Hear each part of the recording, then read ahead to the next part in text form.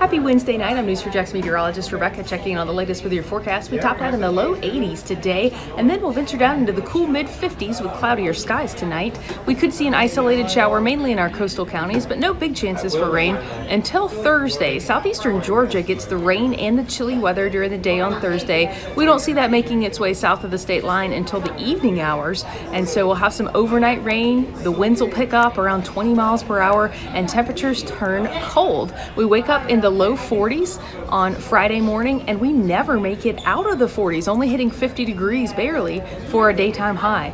Expect a few showers left over on Friday morning, but generally drying out. And actually, the skies start to clear out after lunch hour on Friday.